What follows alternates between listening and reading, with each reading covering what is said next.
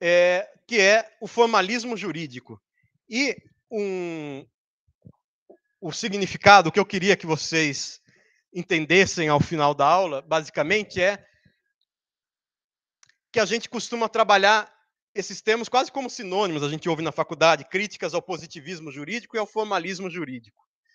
Mas vamos tentar dar uma definição aqui pela qual a gente entenda que o positivismo jurídico, na verdade, surgiu com uma reação ao formalismo jurídico, com uma crítica ao formalismo jurídico. E para isso, então, vamos tentar entender primeiro o que, é o formalismo jurídico e depois como o positivismo surge como uma reação ao que é, ao que foi o, a concepção formalista do direito. É, e o ponto histórico mais importante é o formalismo jurídico, que a gente vai definir em seguida, surge com um pressuposto histórico e político que é a organização dos, do parlamento, do poder legislativo de maneira permanente, a partir do século XIX, ao redor do mundo. E, e o formalismo jurídico, então, vai defender a supremacia do legislativo e, portanto, a supremacia da lei sobre as outras fontes do direito e a supremacia do legislativo sobre os outros poderes, né? Portanto, tentando conter de um lado o arbítrio do poder executivo e de outro também a discricionariedade judicial. É, e isso vai justificar a concepção formalista do direito, esse, esse pressuposto institucional da supremacia da lei e da supremacia do legislativo. E a origem do formalismo jurídico está naquele ponto é, que a gente chamou na aula passada da positivação dos direitos naturais. Como eu disse, as revoluções liberais, a revolução inglesa, americana, francesa, é, as independências nacionais, inclusive a independência do Brasil no século XIX, a unificação da Alemanha e da Itália no século XIX. Tudo isso levou à ideia de que o direito tem que ser centralizado pelo Estado é, e, portanto, aquilo que era objeto de tratados filosóficos sobre direitos e deveres naturais, direitos e deveres do homem, do cidadão, tudo isso passou a ser modelo para o direito positivo, para as leis, para os códigos, para as constituições e para as declarações de direitos. E aí o ponto é, importante é aquela passagem que eu comentei na aula passada, usando os conceitos do Max Weber, a passagem da racionalidade material para a racionalidade formal tudo aquilo que eram sistemas altamente abstratos, universalistas de direitos naturais, princípios naturais, princípios gerais da razão, aquilo que estava na filosofia, que era previsível, mas era externo ao direito, por isso racionalidade material, passa a ser racionalidade formal, ou seja, interna ao direito, porque esses grandes sistemas passam a influenciar a maneira como são concebidos e positivados os códigos, as leis, as constituições. É, então, existe essa passagem do direito natural racional ao direito racionalizado, que agora não está mais na filosofia, mas está no próprio, no, próprio direito positivo. E, e aí existem esses, esses movimentos do direito positivo de sistematização, generalização, abstração. Eu, eu procuro criar leis, os legisladores do século, fim do século XVIII, começo do século XIX, procuravam criar leis para superar justamente a diversidade de costumes locais, e essas leis tinham que se dirigir a um sujeito de direito universal, impessoal, é, e, portanto, tinham essa característica da abstração e da generalidade. Generalidade porque se referiam a tipos de condutas, em vez de se referirem a condutas concretas, se referiam a tipos como tipo penal, matar alguém. É um tipo altamente abstrato. É, aliás, altamente geral. E, e, e também eram leis dirigidas, portanto, a qualquer cidadão, a qualquer sujeito de direito e não a pessoas muito determinadas. E é nesse contexto que vai surgir que vão surgir as concepções formalistas de direito, formalismo jurídico, como uma espécie, então, de resultado desse movimento histórico de positivação do direito, desse momento que começa a prevalecer o direito positivo, a lei, principalmente, sobre o costume. É, e o formalismo jurídico é que vai nos legar essas, essas ficções que a gente usa para interpretar o direito. Por exemplo, a ficção da unidade do ordenamento jurídico. Por mais diversas que sejam as leis, as fontes do direito, além da lei, os atos administrativos, os contratos, as decisões judiciais, a gente trabalha com a ficção de que tudo isso está integrado num ordenamento só e que existe uma hierarquia das fontes de direito, é, todas elas vinculadas ao postulado da soberania do Estado. O Estado tem um poder maior do que qualquer outro poder na sociedade, em termos jurídicos, pelo menos ele afirma essa superioridade, e todas as fontes de direito estão ligadas a essa hierarquia estatal é, de poder. Bom, então o postulado da unidade do ordenamento jurídico, o postulado da é, completude do ordenamento jurídico, que tem a ver com a questão do costume. A gente vai entender que sempre há alguma solução para qualquer problema concreto, a gente pode encontrar uma solução no direito, no ordenamento jurídico. Então, é, se a solução não está diretamente nas fontes do direito positivo, é, não foi se, se, a gente não encontra uma regra que foi objeto de uma decisão de uma autoridade, de uma lei, de uma decisão administrativa, a gente tem os meios de integração do ordenamento jurídico. Então, analogia. Se eu não encontro uma regra, eu vou encontrar uma regra que se aplique a uma situação diferente, mas semelhante o suficiente para que eu aplique a mesma consequência prevista nessa regra, que regra uma situação semelhante, para a situação que eu estou enfrentando e que não está regrada no ordenamento jurídico. Então, primeiro eu faço analogia os, fazendo referência às fontes formais do direito. Se eu não conseguir fazer analogia, eu vou justamente tentar identificar algum costume, algum costume que não sendo contrário à lei, às fontes formais, complemente a lei, o costume pretelegem, como eu dizia.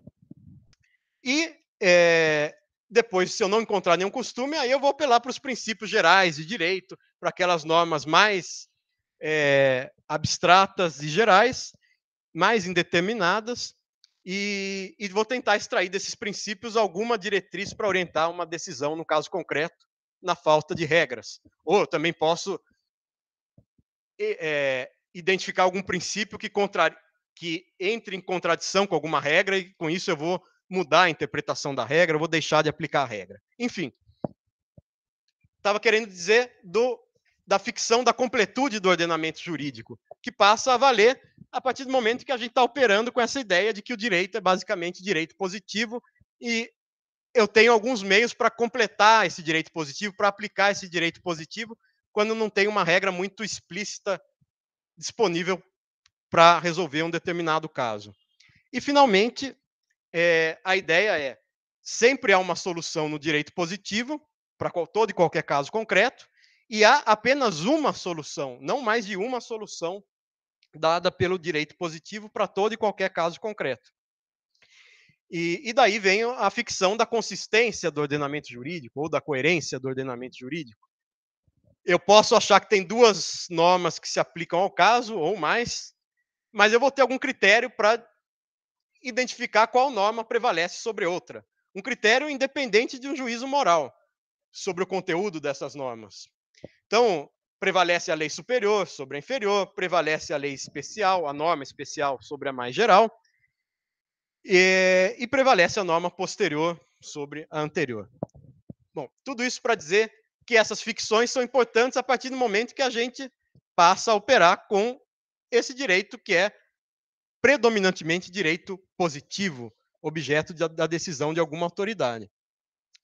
E daí vem a definição que a gente pode dar do formalismo jurídico, tentando achar algumas características típicas desse formalismo. Nem sempre um autor formalista vai é, vai endossar todas essas características, mas ela é isso daqui é um tipo ideal, quer dizer, é uma caracterização dos traços mais comuns, mais recorrentes, no caso, nessa concepção de direito de interpretação do direito. Então, primeiro, o formalismo jurídico vai ter a ideia de que o direito, a interpretação jurídica é uma operação técnica, não depende de um juízo político, não depende de um, uma discricionariedade, um, um exercício de poder diretamente político, mas é uma operação que nós podemos aprender numa faculdade de direito e todo mundo pode mais ou menos interpretar as mesmas regras da mesma forma, porque existe uma técnica acima da, de qualquer consideração moral ou política é, que crie maiores contradições. Outra ideia do formalismo jurídico é que a interpretação do direito pode ser esquematizada na forma de um silogismo. O que é um silogismo? É aquela, aquele formato de raciocínio é, que vem da, da filosofia grega, do Aristóteles já, tentava esquematizar quais eram as formas válidas de raciocínio. Por exemplo, é, todo homem é mortal, Sócrates é homem, Sócrates é mortal. O silogismo parte de uma premissa maior, que é um termo universal, uma premissa menor, que é um termo particular, e quer chegar a uma conclusão. No caso da interpretação do direito, a ideia é sempre a gente vai conseguir extrair da lei uma regra geral e abstrata, voltada, portanto, a um tipo de conduta e a uma classe de pessoas. É, essa regra geral e abstrata serve como premissa maior de um raciocínio, do tipo matar alguém, pena de prisão de tantos a tantos anos. Tenho a hipótese e tenho a consequência. Premissa menor. Eu vou ver se alguém praticou uma conduta particular que se encaixa, que se subsume, que é um exemplo daquele termo universal matar alguém. Lucas matou Frederico na, no dia 12 de abril na rua Riachuelo. Bom, esse é um exemplo que se encaixa no, no conceito universal de matar alguém. Portanto, a conclusão vai ser a pena de prisão, naquele caso, dentro do, do, do limite legal. Enfim, todo raciocínio jurídico poderia ser esquematizado na forma de um silogismo, em que você tem a premissa maior, que é a regra, a premissa menor, que é a descrição dos fatos relevantes do caso, que são um exemplo do que a regra descreve em termos universais, e a gente chegaria à conclusão. É, bom, o que mais? O direito é um sistema completo e coerente de dispositivos normativos, como acabei de dizer. A gente conseguiria sempre extrair uma regra ou seja, uma norma que tem uma hipótese de incidência clara e uma consequência também bem definida. As palavras teriam um significado fixo, então eu sempre sei o que é matar alguém, por mais que mude, é, mudem as formas de, de, assassinato, eu sempre vou conseguir identificar o que, que é a conduta de matar. É, e as regras seriam como que a dedução, a derivação de certos princípios gerais. E, portanto, a coerência do sistema, a consistência do sistema seria dada também pela relação que existe entre as regras que descrevem condutas mais específicas e os princípios mais gerais do tipo a ninguém se deve lesar. É o princípio que fundamenta a responsabilidade civil. Pacta sunt servanda é o princípio que fundamenta o direito das obrigações, o direito contratual. É, enfim, sempre haveria, além das regras que descrevem condutas bem determinadas, princípios que justificariam essas regras e, portanto, na falta de alguma regra, eu conseguiria até apelando para os princípios conseguir resolver algum caso concreto. E esses princípios, na verdade, nada mais seriam do que as orientações morais típicas de uma certa forma de sociedade. Então, uma sociedade moderna, liberal, seria fundada sempre em certos princípios, seja no Brasil, nos Estados Unidos, na, na França, como esses que eu acabei de dizer: a ninguém se deve lesar, nem nem ledere, os, é, a obrigatoriedade dos contratos, das promessas, pacta sunt servanda, enfim. Haveria princípios comuns às sociedades ditas civilizadas. Bom, tentando é, detalhar um pouco mais essas características. Primeiro, esse caráter técnico, apolítico e amoral da interpretação do direito. É, daria para fazer isso, primeiro, porque a gente conseguiria identificar exatamente quais decisões são decisões jurídicas e quais orientações são meras normas sociais, normas morais, práticas culturais a gente consegue identificar as autoridades que emanaram as decisões válidas. Então, as fontes formais do direito, a hierarquia das fontes formais. É, a dogmática jurídica seria um discurso diferente do discurso da ideologia política. A dogmática tenta sistematizar o direito posto como ele é vigente hoje.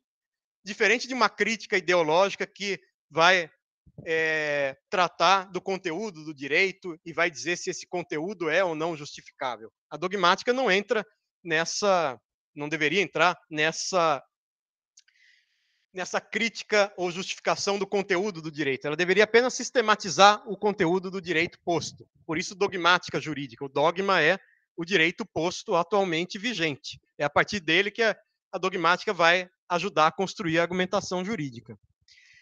É, um fato importante, claro, as carreiras jurídicas, a organização dos tribunais, tudo isso ajuda a blindar um pouco o discurso jurídico, a prática do direito em relação à criação política do direito que é feita nos, nos parlamentos, principalmente. É, e, portanto, a autonomia do Poder Judiciário, a hierarquia do Poder Judiciário, o fato de um juiz de primeiro grau poder é, interpretar e aplicar o direito mas a sua decisão poder ser reformada no segundo grau por meio de um recurso, isso ajuda a dar uniformidade às decisões judiciais e, portanto, orientar uma certa coerência na, na interpretação, na aplicação do direito. O que mais? É, então, o direito seria um sistema axiomático. O que é um sistema axiomático? É como a matemática. O direito, nessa visão formalista, seria um sistema é, em que você parte de regras, princípios gerais e sempre chega ao mesmo resultado. Como 2 mais 2 é sempre 4, sempre que você aplicar determinadas regras, você conseguiria chegar ao mesmo resultado, porque a aplicação das regras seria feita pelo raciocínio, pela inferência dedutiva, que é esse raciocínio que parte dos termos mais gerais, que eu acabei de falar, a premissa maior de um silogismo, até chegar ao mais específico, que é que é a descrição do caso concreto, e daí, subsumindo o caso concreto à regra geral, você chega à, sanção, à conclusão, à consequência que deve ser dada àquele caso concreto. Uh, bom, o direito, então, sempre comportaria regras condicionais. Se, se, se você quer é, comprar um imóvel, você tem que registrar esse imóvel no, no cartório para você adquirir a propriedade é, como um direito oponível a todos, um direito ega omnes. Enfim, o direito seria sempre baseado nesse tipo de norma, em que você tem um, uma hipótese, C, e aí o então, a consequência prescrita. É, se você não tiver essas regras, você ainda assim conseguiria apelar para os princípios e, e construir uma regra para o caso concreto. É... E como eu disse, esses princípios fariam, todos eles teriam uma coerência é, dentro de um determinado tipo de sociedade. Bom, já vou comentar um pouco mais daqui a pouco. Mas, é, para fechar essa caracterização ainda inicial do formalismo jurídico, queria dizer que o formalismo jurídico, então, tem a ver com a própria organização do Poder Judiciário, como eu dizia, e com certos princípios que caracterizam o funcionamento do judiciário em contraposição à, à política ou à administração pública. Quer dizer, o juiz é o único funcionário público, vamos dizer, que não pode tomar uma decisão por sua iniciativa. O juiz não pode resolver, decidir um determinado caso, passar na rua, ver uma irregularidade e decidir tomar uma decisão sobre aquele assunto. Não, porque um, um, um dos princípios característicos do judiciário é a inércia judicial.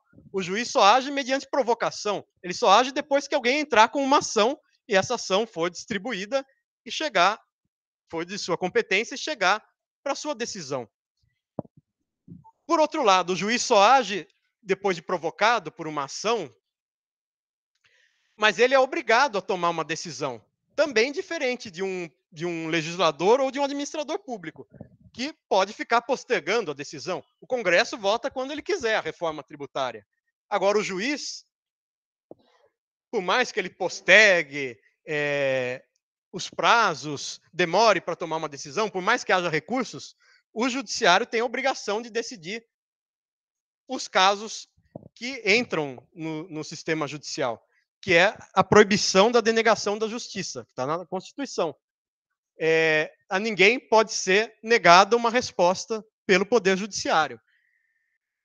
Daí vem essa expressão non liquid, é, que quer dizer o juiz não pode deixar de decidir, é proibido o non liquid. Non liquid seria não querer decidir porque a lei é obscura, porque a lei não diz nada, porque a lei é insuficiente. O juiz não pode alegar que a lei é obscura ou que ela é insuficiente e de, para deixar de decidir. O juiz é obrigado a decidir de algum achando alguma justificativa dentro do direito. E daí vem a importância daquilo que eu acabei de comentar, daquelas ficções lá da completude, da consistência do ordenamento. Se existe uma lacuna aparente no ordenamento, eu vou apelar para um pra, vou tentar fazer uma analogia com as regras que já existem, ou vou identificar o costume, ou vou partir de princípios gerais para construir uma regra para o caso concreto, é, ou se existe algum conflito entre normas, eu vou preferir a, a, norma superior, ou a norma posterior, ou a norma mais específica. Enfim, tudo isso tem a ver com a obrigação do judiciário de decidir é, achando a justificativa da sua decisão no direito, por mais obscuro que seja esse direito. E, finalmente, a terceira característica importante do judiciário é, de um lado, a imparcialidade que o juiz tem que manter em relação a, a autor e ao réu, mas também a irresponsabilidade jurídica e política do juiz. Um juiz não pode ser processado, em regra, por uma decisão ruim, por uma decisão que alguns consideram errada. Se a decisão é tida como errada, você, você entra com recurso e aí a segunda instância é que vai dizer se o juiz errou ou não, mas ele não tem uma responsabilidade pessoal pelo conteúdo da sua decisão. É... E existem certas garantias da magistratura. O juiz, depois de, de um período probatório, ele não pode ser mudado de jurisdição sem o seu consentimento, ele não pode ter o seu salário reduzido, ele tem um cargo vitalício. Tudo isso para dar para ele condições de decidir de maneira imparcial, sem sofrer as pressões de nenhuma das partes de uma ação e também de nenhum poder externo, político, econômico.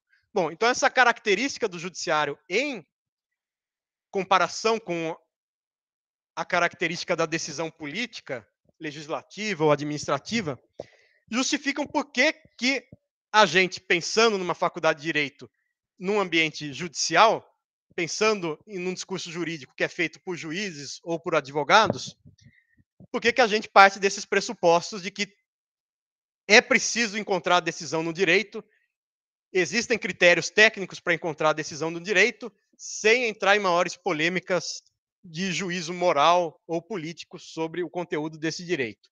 Bom, então é isso que justifica historicamente o formalismo.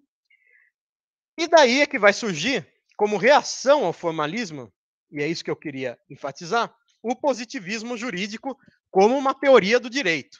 Eu disse na aula passada que existem concepções mais ou menos positivistas ao longo da história, é, que vão dizer, não, a decisão das autoridades prevalece sobre o costume ou sobre aquilo que se considera justo pela razão natural ou pela vontade divina.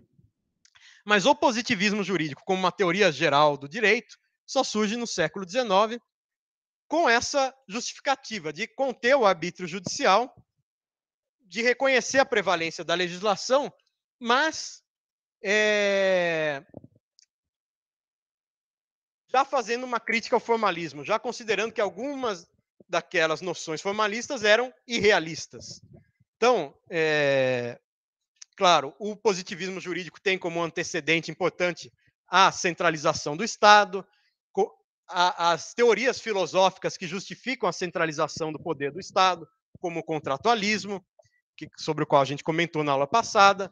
Então, a ideia da soberania do Estado, que é uma ideia da filosofia política, passa para a teoria do direito positivista como o conceito do monismo jurídico, de que existe uma só ordem jurídica que subordina as demais. Então, tudo bem, existe direito nacional e internacional, mas ou o direito nacional está subordinado ao direito internacional, ou o contrário.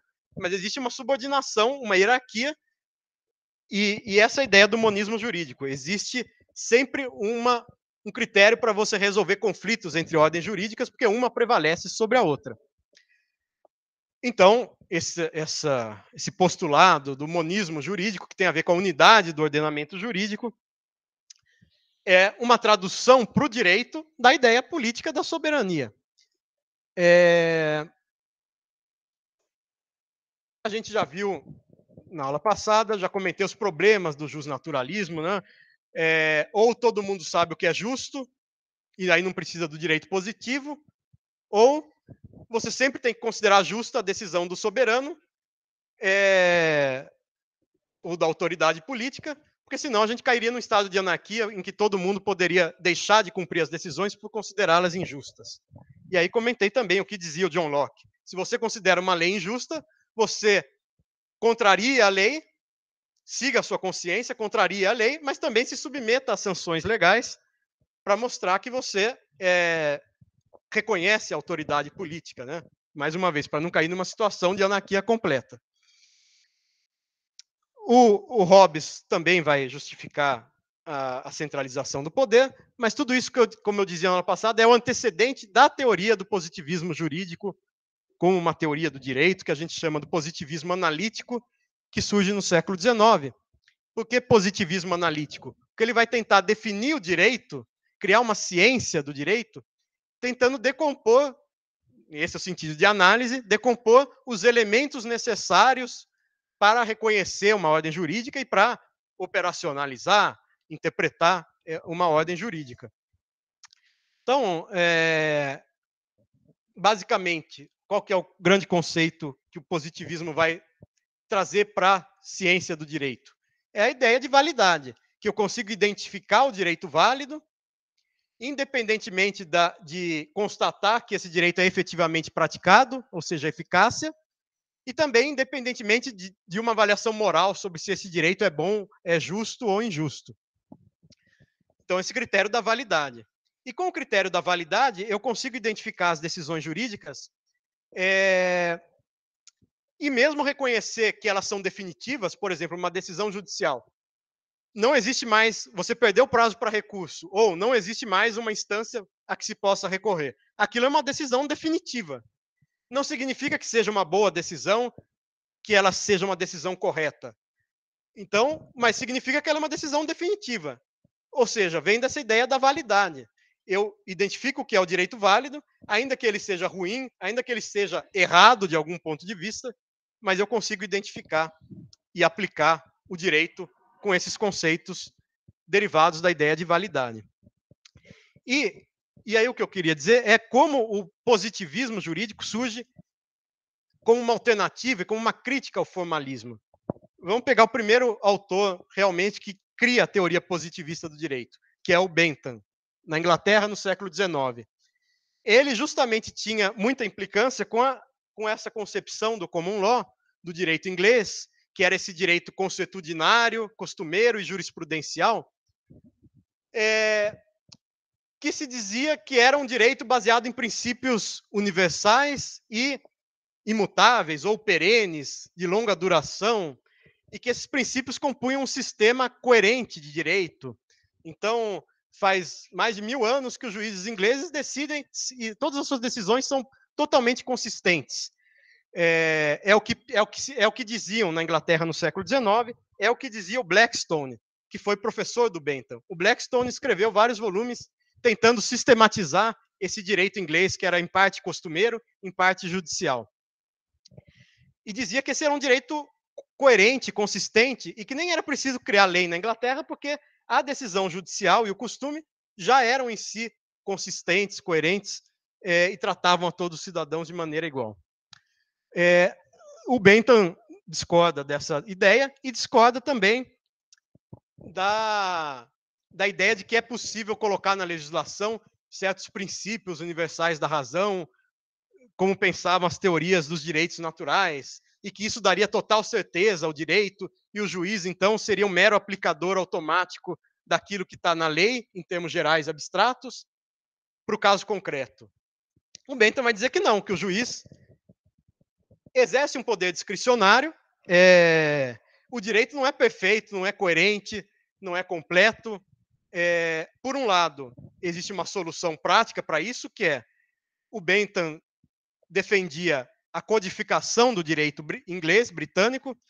Então, para evitar o arbítrio dos juízes, a incerteza dos costumes, ele defendia que a Inglaterra deveria codificar o seu direito, ou seja, criar leis, códigos. E, de outro lado, ele tentou criar um método de. É, uma ciência do direito, que era uma ciência da legislação para o Bentham, ou seja, critérios para orientar o legislador. Como ele não acreditava nessas teorias de direitos naturais, ele dizia: o legislador não pode dizer que ele vai proteger a propriedade privada, por exemplo, porque isso é um direito sagrado e natural. Porque ele também poderia proteger a propriedade estatal, pública, e, e, dizer que é um direito natural. Quer dizer, é muito arbitrário. Como é que eu vou definir o que, que é ou não um princípio geral da razão? E aí o Bentham propunha, então, uma ciência da legislação baseada no utilitarismo, que é que tem a ver com as consequências práticas de uma decisão e com as consequências práticas dentro de uma comunidade. Dizia o Bentham.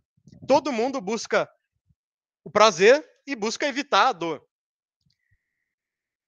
Só que, dentro de uma comunidade, você tem que ver aquilo que gera o maior prazer, o maior bem-estar, a maior felicidade ou a maior riqueza para toda a comunidade e o mínimo de dor, de sofrimento, é, para aquela mesma comunidade. Então você tem que restringir, você tem que considerar individualmente, de maneira igualitária, os prazeres e dores individuais, o que cada um quer e o que cada um quer evitar, e é, exigir das pessoas um altruísmo, que é eu posso querer algo pensando egoisticamente, eu posso achar que algo é bom para mim, mas a função do legislador vai ser restringir essa atividade se o melhor para a comunidade, to totalmente considerada, for restringir essa atividade. Enfim, ele partia do cálculo utilitarista, que a ideia é que a, a, a felicidade, o bem-estar, o prazer tem que superar a dor, só que esse cálculo que cada indivíduo faz de maneira egoísta, o legislador teria que fazer pensando no bem-estar geral da comunidade, considerando individualmente todos os cidadãos, e com isso poderia ser exigido o altruísmo dos cidadãos. Aquilo que eles gostariam de fazer pode ter que ser proibido pela lei, se isso for a melhor opção para toda a sociedade.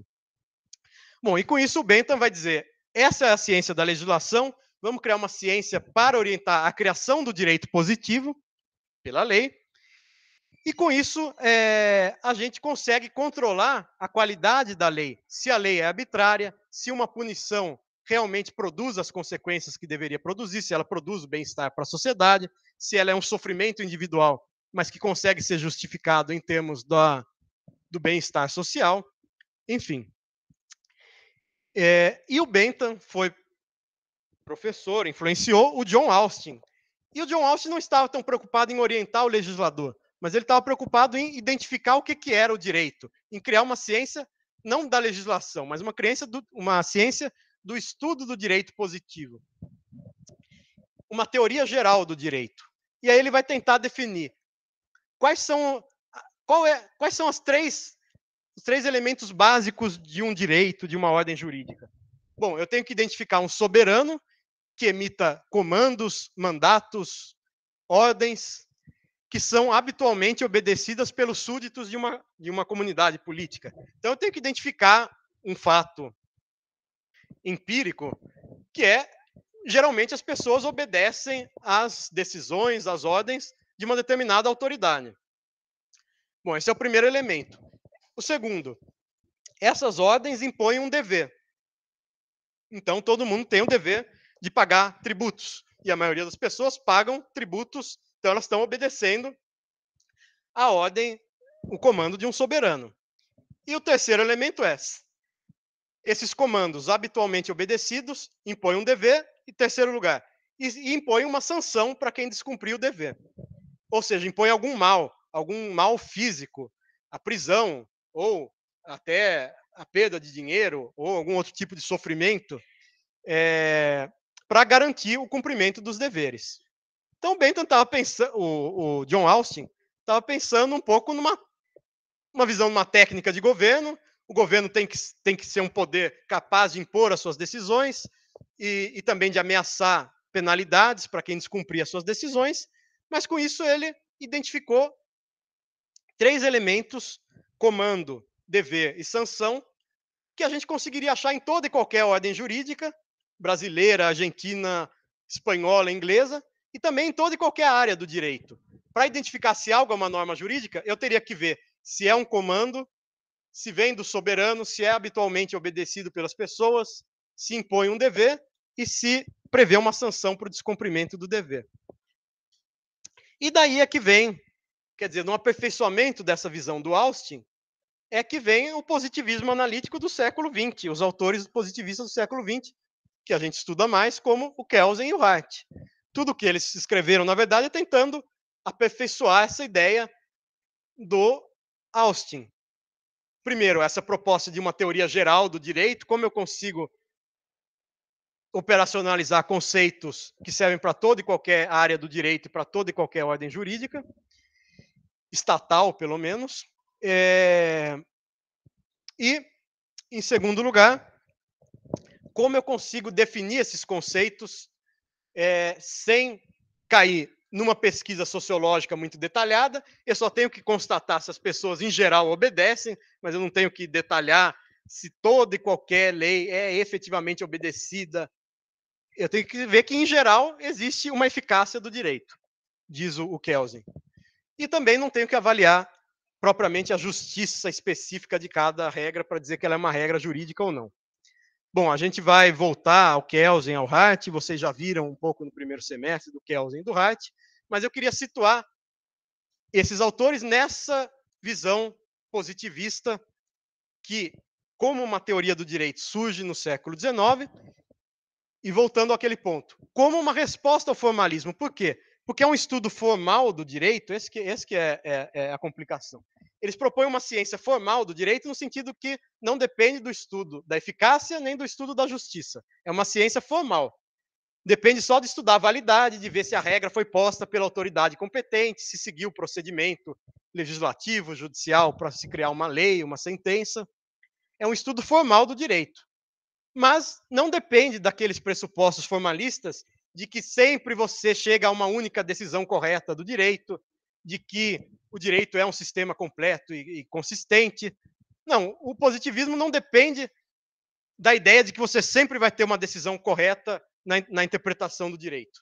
Mas ele dá certos conceitos gerais que independem dessa certeza total sobre o resultado das decisões. Tanto que, só para lembrar um ponto que a gente vai retomar mais para frente, o Kelsen vai dizer: desde que o juiz seja autoridade competente para tomar aquela decisão, ele pode tomar qualquer decisão. É, essa decisão pode ter qualquer conteúdo, por pior que seja, por mais absurdo que seja, porque ela será uma decisão válida. Então, Kelsen não é um autor formalista. Ele propõe um estudo formal do direito, uma ciência, uma teoria pura do direito, que vai se preocupar com a questão formal da validade, se a decisão foi tomada pela autoridade competente, que é a autoridade definida numa outra norma. Nesse sentido, é uma ciência formal, porque não se preocupa com o conteúdo da norma, se preocupa com a autoridade que foi autorizada por outra norma a tomar essa decisão. Mas a, o, a interpretação não é sempre a mesma, não existe uma única resposta correta. E o, e o Hart vai dizer quase que a mesma coisa, é, ao dizer que existe uma textura aberta da linguagem, que sempre existe uma margem de discricionariedade em que o juiz poderia tomar uma decisão ou outra. Portanto, o que eu queria reforçar muito é que o Kelsen e o Hart são positivistas, mas não são formalistas. O positivismo é um estudo formal do direito que tenta partir de conceitos formais relacionados a as autoridades que podem tomar as decisões jurídicas, ou seja, criar normas jurídicas, mas sem aderir a uma concepção de que sempre a interpretação do direito levará ao mesmo resultado, a um único resultado. Que era a visão formalista. Sempre haverá um único resultado, uma única decisão correta. É,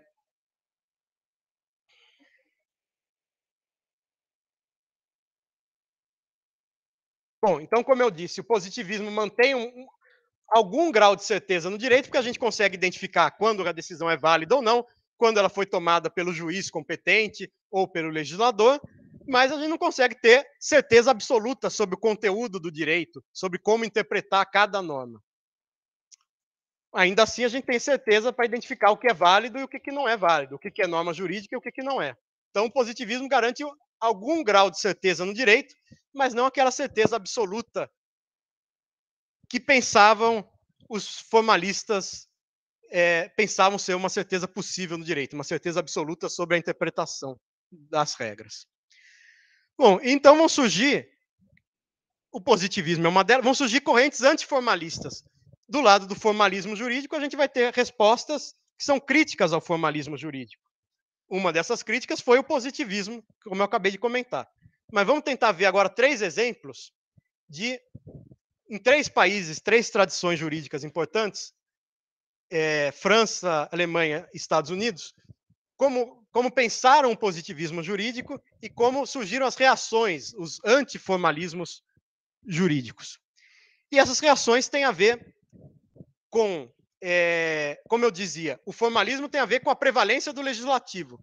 E o antiformalismo tem a ver com o crescimento do executivo e depois do judiciário como ambiente de tomada de decisão sobre o direito ao lado ou acima do legislativo. Quer dizer, a partir do momento que você diz que a lei não define tudo, que existe uma margem para a criação do direito na administração pública ou no judiciário, é, é que vai, é, esse vai ser o contexto em que vai surgir a crítica ao formalismo jurídico.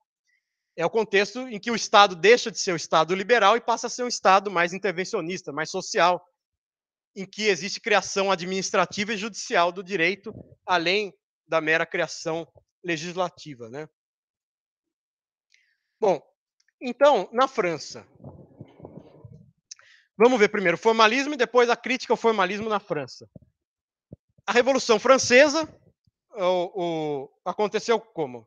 O, o, rei francês convocou a Assembleia dos três estados, dos, das três dos três estamentos sociais, e essa Assembleia deixou de ser Assembleia dos Três Estados e se, e se transformou em Assembleia Nacional Francesa, representando todos os cidadãos franceses. Aí é que se afirmou o sentido da Revolução Francesa, ou seja, baseado numa Assembleia, num corpo legislativo que representaria todos os cidadãos, sem diferença de, de estamentos sociais, se era burguesia, se era nobreza, se era o clero, é, e, portanto, a Revolução Francesa deu uma grande ênfase ao poder legislativo como representante da unidade nacional e da igualdade entre os cidadãos franceses. Agora, os cidadãos franceses vão estar subordinados às mesmas leis. Leis que vão tratar todos de maneira isonômica e, e portanto, é preciso conter o poder do judiciário de, ao aplicar a lei e conter o poder da doutrina, porque a doutrina e o judiciário eram praticados, em geral, por antigos representantes da nobreza, do antigo regime. Então, a Revolução Francesa vai afirmar que a burguesia, liderando essa revolução, ela vai procurar conter o poder da doutrina, conter o poder do judiciário e afirmar o poder da lei, que trata todos os cidadãos de maneira isonômica. Tanto que o, o senhor Napoleão vai comandar ele mesmo a a produção do Código Civil francês. A, a, França fez as declarações de direito, fez as constituições, mas aquilo não valia, não valia nada juridicamente. São textos muito bonitos, mas que ninguém aplicava, não tinha nenhum tribunal que ia aplicar a Declaração de Direitos do Homem e do Cidadão no século XIX. A importância daquilo foi ter foi ser um, um, documento político e o que era lei realmente aplicável era eram os códigos, principalmente o Código Civil, criado em 1804, então 15 anos depois da Revolução Francesa. É, um dos juristas mais importantes que é, lideraram esse trabalho de organização do Código Civil francês foi o Portalis, e o Portalis dizia: este código é o principal produto jurídico da Revolução Francesa. Por quê? Porque a partir de hoje todo cidadão francês vai estar submetido às mesmas regras para dizer quando ele nasce, quando ele morre, quando ele herda seus bens, quando e como ele pode fazer uma compra e venda, quando e como ele pode fazer um contrato. Quer dizer, os temas do direito civil vão tratar agora todos os cidadãos tem uma legislação uniforme para toda a França, que vai tratar igualmente todos os cidadãos franceses. E o artigo 4 do Código Civil francês disse algo muito importante, que é aquele princípio do, da proibição do non-liquid, a proibição da denegação de justiça, que é o juiz que se recusar a julgar a pretexto de silêncio, obscuridade ou insuficiência da lei, poderá ser processado como culpável por denegação de justiça. Bom, hoje em dia não existe esse processo do juiz que se recusa a julgar, mas existe a obrigação é, do juiz tomar uma decisão. E por que, que foi importante o código prever essa obrigação? Porque antes disso, se o juiz não achasse uma, uma, uma lei, uma norma aplicável ao caso, ele podia é, consultar o rei ou consultar o parlamento para ver o que, que eles decidiriam naquele caso concreto que não estava previsto nas normas gerais. A partir do Código Civil, o juiz está obrigado a decidir achando alguma justificativa dentro do direito positivo. Então, isso tem a ver com aquela visão formalista, de que eu tenho que achar, eu tenho algum método para resolver antinomias, algum método para preencher as lacunas. É... E, além disso, Napoleão emitiu um decreto que tem repercussões até hoje, na forma como a gente estuda direito aqui na faculdade, que é o seguinte: para evitar que os professores falassem demais, criticassem o direito positivo, ele dizia: o direito tem que ser ensinado na forma de um comentário, artigo por artigo, parágrafo por parágrafo do Código Civil. Então, o, o professor que venha, repita o artigo, explique alguma palavra que esteja obscura e passe para o artigo seguinte. Ou seja, ele queria reduzir o poder da doutrina e afirmar o poder do legislador. O legislador disse tudo. Vão surgir. É... Bom, e aí a única polêmica vai ser é a vontade da lei ou a vontade do legislador? Bastam as palavras que estão escritas na lei para a gente conseguir interpretar o sentido? Ou eu posso ter que pesquisar o processo legislativo, tra os trabalhos preparatórios da codificação, para ver o que o legislador realmente quis dizer quando ele aprovou um determinado artigo da lei do Código Civil. Mas o fato é, seja a vontade do legislador, seja a vontade da lei, o parlamento é que teria o verdadeiro poder político de decidir as coisas e a doutrina e a jurisprudência teriam que ser uma aplicação mecânica do que, tá, do que foi decidido pelo parlamento. Mas aí vão surgir no começo, no final do século XIX, começo do século XX, autores que vão criticar essa visão formalista, que eu estou chamando aqui de autores antiformalistas. E estou dando três exemplos. Primeiro, François Geny vai dizer o seguinte: o juiz, para tomar uma boa decisão, ele não pode ser um autômato, ele não pode que ser uma pessoa que só quer aplicar as palavras da lei. Ele tem que entender alguma coisa além da gramática, do sentido das palavras da lei. Ele pode ter que pesquisar o ambiente político, cultural, a função econômica daquele instituto. Se eu vou punir alguém, se eu vou condenar alguém a uma indenização, é, eu tenho que ver se aquela indenização vai vai cumprir uma função econômica importante ou se vai gerar um dano maior para o sistema econômico do que uma indenização menor. Enfim, o juiz tem que, além de aplicar os textos de lei, ele tem que pesquisar os fatos sociais, políticos, econômicos que estão por trás da sua decisão, que é a decisão judicial. Porque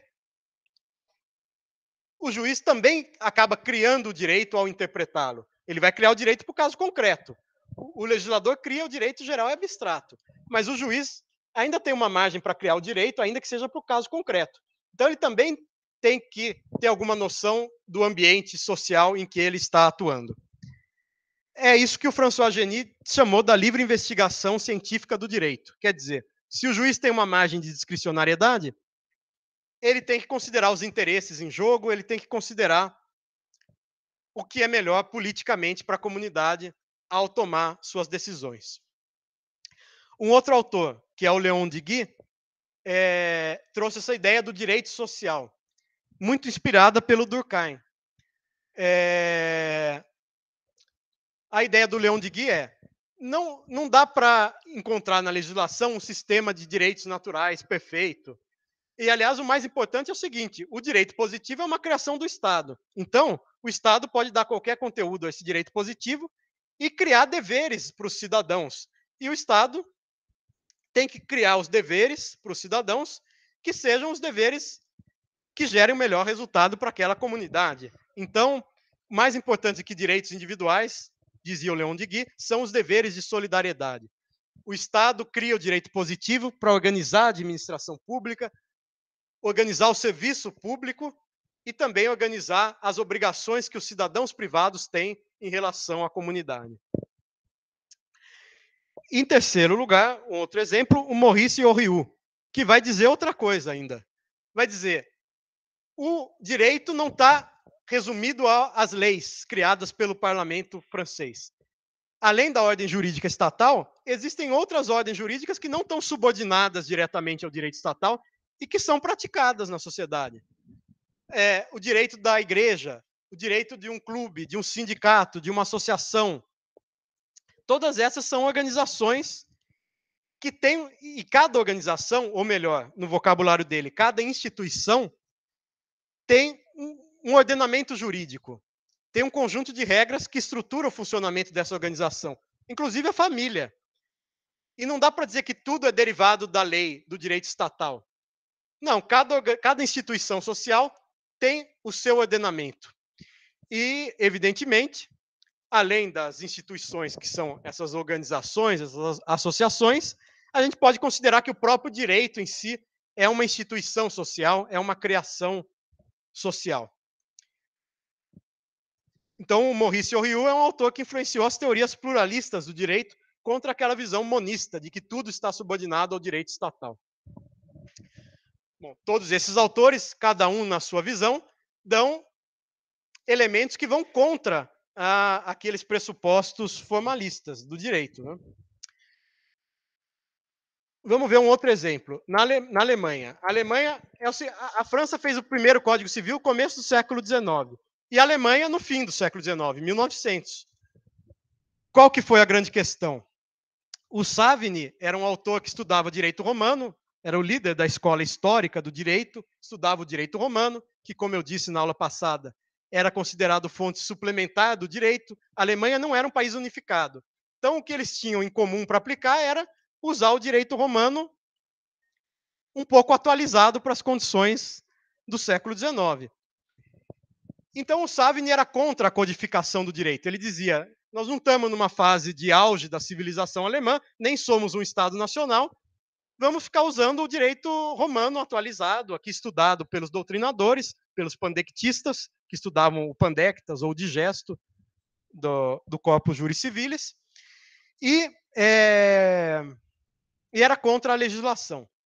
Mas venceu na Alemanha a posição favorável à legislação representada por um autor como o Thibault, que dizia o seguinte: não, nós vamos criar um novo país, que é a Alemanha, unificando os vários estados germânicos, e esse país tem que ter uma lei uniforme para todos os cidadãos, que se imponha sobre aqueles costumes germânicos, romanos, dos vários povos que estavam naqueles territórios. Então, a Alemanha fez a codificação do direito privado, é, inspirada numa ideia de muita sistematização do direito, seguindo aquele método que eles tinham aprendido ao estudar o direito romano.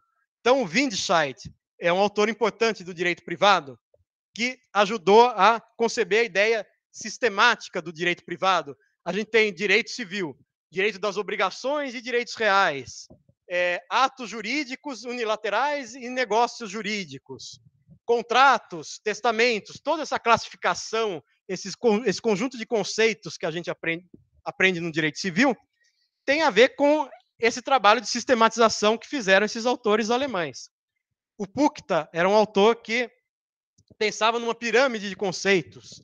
Então, ele procurava abstrair ao máximo os conceitos para organizar tudo de uma maneira mais sistemática possível no direito privado, e o Jering até é, é, um autor interessante, o Rudolf von Jering. Talvez vocês já tenham visto um livrinho dele que chama A Luta pelo Direito. Mas o Jering é um autor interessante porque ele era formalista, ele era adepto dessa chamada jurisprudência dos conceitos, mas depois ele mesmo passou a criticar essa corrente e se transformou um autor antiformalista da chamada jurisprudência dos interesses. Porque, dizia o Jering, ele, ele contava uma fábula assim, né? Que o jurista morreu, foi para o céu e lá ele descobriu uma máquina em que tudo era plenamente dividido. Você sabia bem quando um caso era de direitos reais, envolvia propriedade, quando um caso era de direitos obrigacionais. É, onde achar a solução para todo caso? Você encontrava máquinas que resolviam todos os casos. E o Ehring, na verdade, estava debochando, debochando dessa ideia dos conceitualistas, que eram os formalistas alemães, de que o direito fosse esse sistema perfeito. E dizia ele, muito mais o direito é uma luta de interesses no legislativo, mas também no judiciário, e esses interesses se justificam em referência a alguma finalidade do direito. E o juiz, portanto, também tem que considerar as finalidades do direito.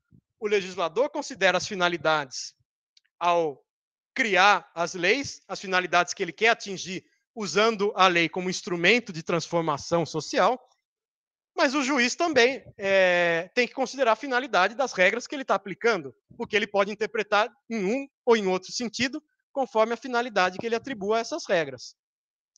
E o outro autor que também dizia isso era o Philip Heck, que na verdade é quem criou esse rótulo jurisprudência dos interesses, é, de que é necessário considerar os interesses e as finalidades por trás da, de cada regra do direito, seja ao criá-la, seja ao interpretá-la e aplicá-la na solução de um caso concreto.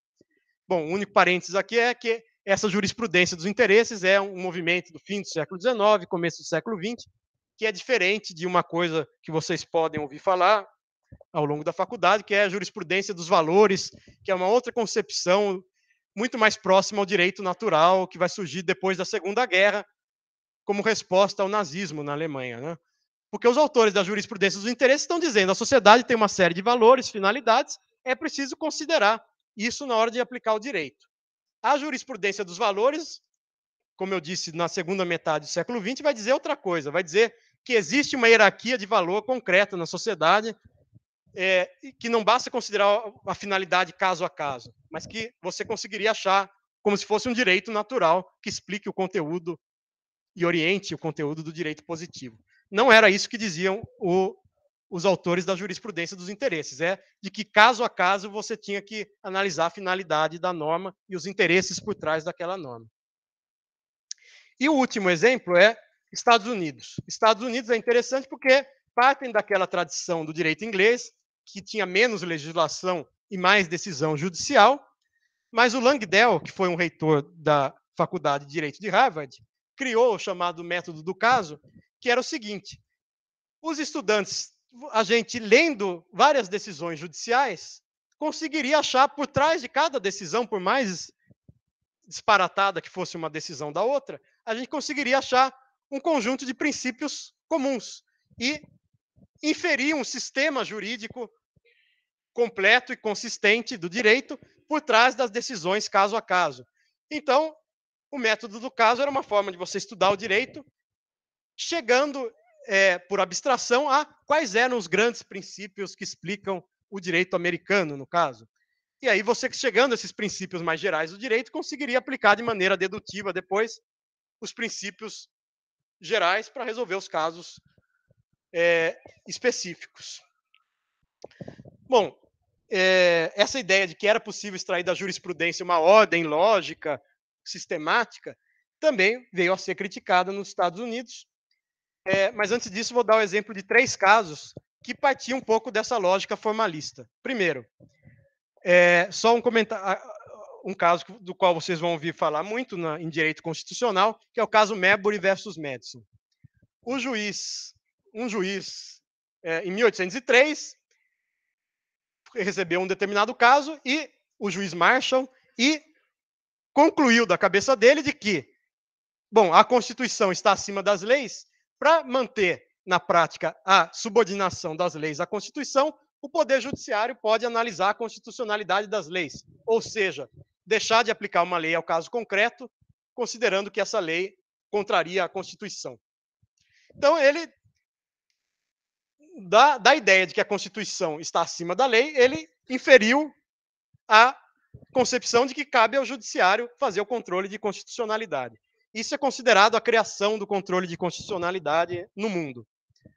Bom, mas o fato é, a, Corte, a Suprema Corte Americana de, de, é, demorou muito para começar a fazer isso, de invalidar as leis porque eram contrárias à Constituição. Ela demorou muito tempo para tornar isso uma rotina.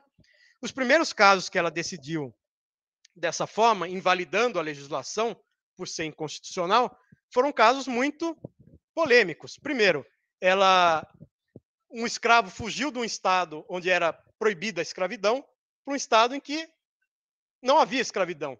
E a Suprema Corte disse que ele se mantinha como escravo. Quer dizer, ele, ele a Suprema Corte negou competência para o Congresso é, americano de proibir a escravidão nos territórios federais. Quer dizer, ela considerou inconstitucional uma lei abolicionista. Então, um caso polêmico. Segundo caso polêmico, a Suprema Corte é, teve que considerar se era constitucional a segregação racial nos Estados Unidos. Houve a, a, a Guerra Civil Americana, a escravidão foi abolida formalmente nos Estados Unidos, mas muitos estados mantiveram segregação né, racial, os espaços em que era permitido conviver e os espaços em que não era permitido os brancos conviverem com os negros e vice-versa. Bom, e aí a Suprema Corte teve que decidir se isso era compatível com uma com direito, com uma cláusula que foi incluída na, na, na Constituição americana, justamente depois da Guerra Civil, que era a cláusula da igualdade, da proteção igual. Todos os cidadãos americanos estão sob proteção igual da lei. E a Suprema Corte decidiu que a segregação era sim compatível, porque desde que brancos e negros tivessem acesso a lugares equivalentes da mesma qualidade, seja lugares privados, bares, restaurantes, clubes, seja escola pública ou transporte, eles decidiram, desde que eles tenham acesso a esses serviços, eles, esses, esses serviços podem ser separados é, por critérios raciais. Então, é essa decisão que ficou conhecida como separados mais iguais. Então, e, eles, e qual que é a questão? Eles diziam que o princípio da igualdade tinha como decorrência lógica a ideia de que era possível manter a separação racial. Eles, eles não diziam que isso era uma opção política da corte, diziam que era a única decisão que eles poderiam tomar. E isso ficou mais claro ainda no caso Lochner, que é o caso seguinte: o estado de Nova York criou uma lei limitando a jornada de trabalho dos padeiros a 12, 10 horas por dia. E a Suprema Corte Americana disse que essa legislação era inconstitucional, porque feria a liberdade contratual. Se você quer assinar um contrato para trabalhar 16 horas por dia, o Estado não pode criar uma lei limitando a jornada de trabalho, disse a Suprema Corte em 1905. É... Por quê? Porque a Constituição americana prevê o devido processo legal. Ninguém pode ser pro, é, privado dos seus bens ou direitos sem o devido processo legal. E a partir desse princípio extremamente aberto, os juízes disseram: é uma decorrência inevitável desse princípio a ideia da liberdade contratual. E a liberdade contratual é, evidentemente, a mais plena possível. E se ela é mais plena possível, ela não pode ser restringida por uma lei trabalhista.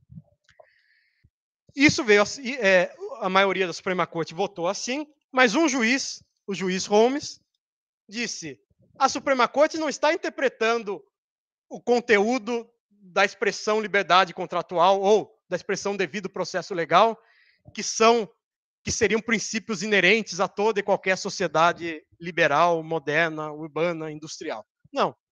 Ela está tomando uma decisão política aqui. Ela está adotando uma posição super liberal, sendo que com o mesmo princípio da liberdade contratual, ela poderia compatibilizar esse princípio com a existência da legislação trabalhista. Então, o Holmes disse: a, a Constituição americana não é um livro do Spencer. Spencer era um autor libertário, ultraliberal do século XIX.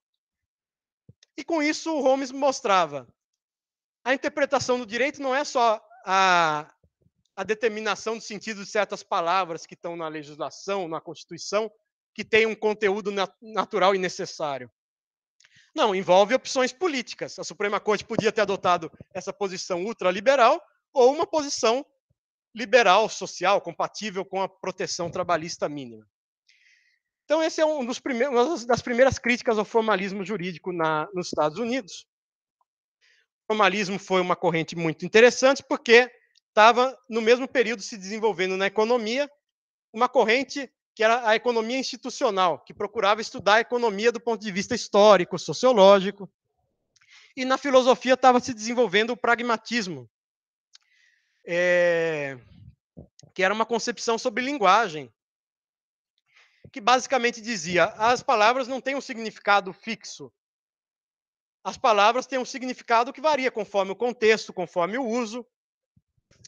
E, e, cada, e cada conceito, portanto, indica certas consequências práticas.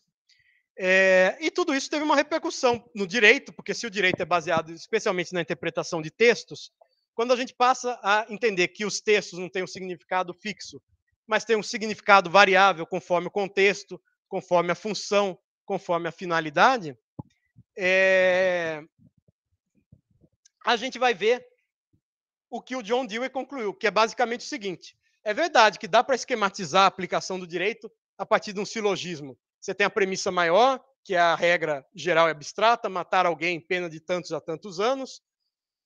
Você tem, você pode achar um fato concreto que seja um exemplo do que está descrito na hipótese da, da regra abstrata, mas a escolha, como, é, como você vai formular a regra, o que você vai entender por matar alguém, como você vai descrever os fatos relevantes que ilustram matar alguém, tudo isso a formulação das premissas não é uma questão meramente de lógica dedutiva. Depende de escolhas, de, de uma análise do contexto, como eu vou descrever aquele caso, como eu vou interpretar aquela regra. É claro, depois que eu tiver formulado a regra, interpretado e for, interpretado os fatos do caso, é claro que dá para fazer um esquema do silogismo e dizer que a, a conclusão é uma inferência lógica dedutiva.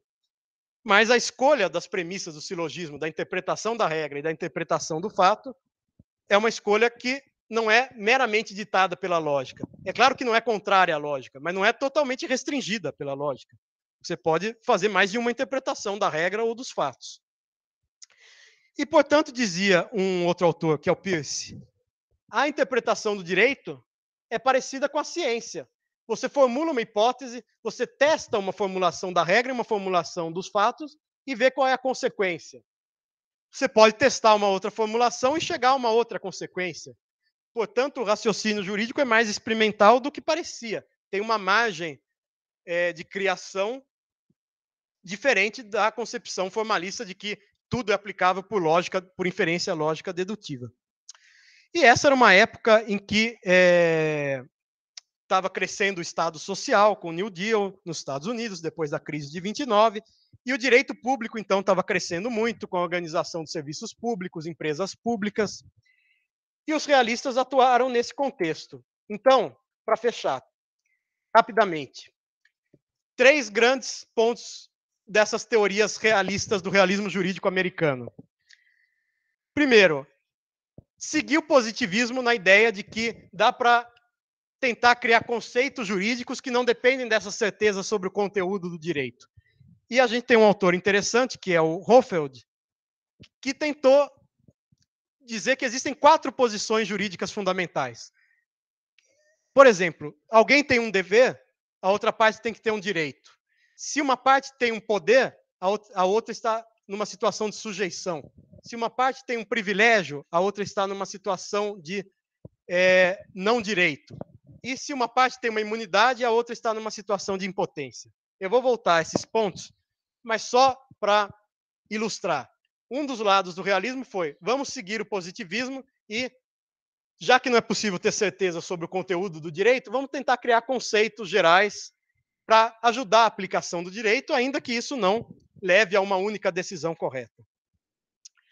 É, o outro ponto foi: cada, de cada conjunto de leis ou de precedentes judiciais, eu consigo chegar a diferentes soluções para um caso concreto. Então, toda solução depende de uma escolha, de um juízo de valor, de uma da identificação de um propósito subjacente à regra, de uma política pública subjacente à regra. Portanto, se os juízes sempre fazem uma escolha de valor, é melhor que eles o façam de maneira aberta e justifiquem essa escolha. Porque os formalistas diziam, eu só estou interpretando a letra da lei. E com isso cometiam grandes arbitrariedades. Os realistas vão dizer, é melhor o juiz dizer que ele está, explicitar que ele está tomando uma escolha de valor, de, definindo uma finalidade, uma política pública, ao aplicar a regra, porque com isso ele tem que justificar a sua interpretação e não dizer que ela é uma mera decorrência lógica do texto da lei. E, e finalmente, o realismo jurídico deu início a, a, a estudos empíricos do direito, psicológicos, sociológicos, econômicos, já que o direito não se resume ao que está no texto da lei, a interpretação jurídica envolve também uma leitura do contexto social, os realistas começaram de maneira mais forte a pesquisar a, a prática do direito. Né? Além do direito nos livros, no código, na doutrina, o direito como ele é efetivamente praticado pelos juízes, pelos cidadãos e tudo mais. É, mas retomar aquela ideia que a gente viu, que no fim do século XVIII, começo do século XIX, começam a surgir correntes que são positivistas no sentido de que tratam do direito positivo, reconhecem que o direito positivo posto por decisão legislativa, especialmente, é a principal fonte do direito moderno, é, mas tem uma visão de que o direito positivo consegue determinar totalmente a solução dos casos concretos, especialmente a lei como fonte de normas gerais abstratas, tenderia a constranger totalmente o juiz na hora que ele vai aplicar essa norma geral abstrata para produzir a sentença, que é uma norma individual e concreta. Então, isso era o formalismo jurídico, era aquela concepção de que um direito é, é, é um sistema completo, consistente, contém uma regra para todos os casos e apenas uma regra aplicável a, a cada caso, e, e, portanto, não existiria muita margem para a criatividade do juiz. O juiz seria a boca da lei, como disse um tempo antes, na metade do século XVIII, o Montesquieu. É, e essa concepção começa a ser criticada já na segunda metade do século XIX por correntes que vão dizer que não é possível acreditar nessa determinação absoluta das normas, especialmente legislativas, em relação à decisão judicial. Ou seja, existe um espaço, uma margem de subjetividade ou de discricionariedade para a decisão judicial. E, portanto, a gente viu na aula passada o, o contraste entre essas correntes formalistas e antiformalistas do direito, e comentei como o positivismo jurídico analítico surge já desconfiando do formalismo jurídico clássico. O que, que era o positivismo jurídico analítico? Era a tentativa de criar uma espécie de metalinguagem no direito. Eles já não acreditavam que o direito fosse totalmente determinado, que o juiz fosse um autômato, mero aplicador mecânico da lei, mas o, positivismo quer criar uma ciência do direito, que seja ela uma ciência mais formal, que dê alguma certeza na delimitação, do, por exemplo, do que são as normas jurídicas válidas, é, quais são os conceitos que definem toda e qualquer ordem jurídica. Aí a gente vai ver é, o surgimento do positivismo jurídico analítico, essa teoria de análise do direito, que reconhece que o direito é indeterminado, mas a teoria pode dar alguns critérios, pelo menos para identificação do direito. E isso é verdade, especialmente com o John Austin, que vai tentar resumir toda a ordem jurídica, ou pelo menos toda a ordem jurídica estatal, a partir de três conceitos. É, o direito é um conjunto de comandos do soberano, habitualmente obedecidos pelos súditos. Esses comandos impõem deveres, e esses deveres são garantidos pela ameaça de um mal, pela é, previsão de uma sanção. E essa linha que o Kelsen e o Hart vão seguir depois no século XX, aperfeiçoando essa, esse projeto do John Austin de criar uma ciência descritiva do direito, reconhecendo que o direito é indeterminado, mas que a ciência, é, a teoria geral do direito, o positivismo analítico, poderia dar critérios para o reconhecimento e para a aplicação do direito. E a gente parou na aula passada, é, na verdade, no exemplo dos Estados Unidos, mostrando como é, o antiformalismo teve várias correntes, na França, na Alemanha e nos Estados Unidos deu origem ao realismo jurídico americano, que foi muito inspirado é, pela filosofia do, do Hegel, de um lado, que previa que o Estado moderno, o Estado constitucional, era o verdadeiro dispositivo de concretização da razão é, para a realização da liberdade humana. Ou seja, enquanto os formalistas do começo do século XIX eram liberais, é, os antiformalistas, os realistas do fim do século XIX, começo do século XX, já estão no contexto de um Estado social e, re e reconhecem que a ação positiva do Estado é muito importante para promover a, a liberdade efetiva dos cidadãos. Então, é um contexto também de crescimento do poder executivo, cresce a produção de normas pelo poder executivo, ao lado também da produção legislativa, e, e a gente parou nesse aspecto do realismo americano. É, comentei alguns casos, e, e comentei que esse realismo surge num contexto político e num contexto filosófico interessante, é, que é o contexto da do modernismo na cultura americana, assim como a gente teve o modernismo no Brasil a partir da década de 20 do século 20. Nos Estados Unidos também houve o mesmo movimento modernista, preocupado, por exemplo, no caso das artes, da literatura, em fazer uma arte, uma literatura realista no sentido de engajada com a realidade social. Na filosofia surge o pragmatismo filosófico que se preocupa com o uso da linguagem em certos contextos. Então, a linguagem não tem, as palavras não têm um significado fixo. O significado das palavras depende da função do contexto social, econômico, cultural. E, e surge também a economia institucional, que em vez de estudar a economia só de um ponto de vista matemático, estatístico, vai se preocupar em inserir os problemas econômicos na história, em tratar da relação entre as instituições econômicas, as classes sociais, a evolução tecnológica. E, e tudo isso vai se refletir também, então, no campo do direito, no realismo jurídico americano.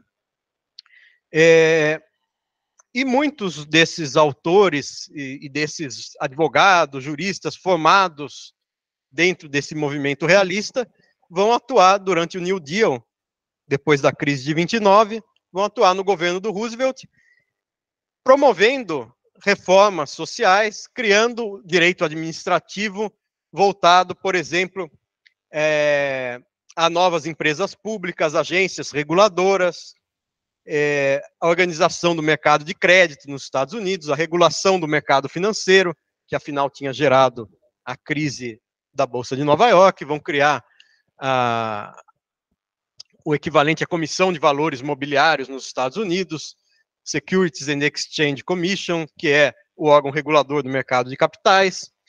Vão criar o, o direito do trabalho também, o direito coletivo, a organização sindical, é, o direito coletivo do trabalho, e, enfim, esses são os efeitos mais práticos do, da preocupação do realismo americano com, com o novo contexto social, que é o contexto de crescimento da administração pública desse Estado é, intervencionista.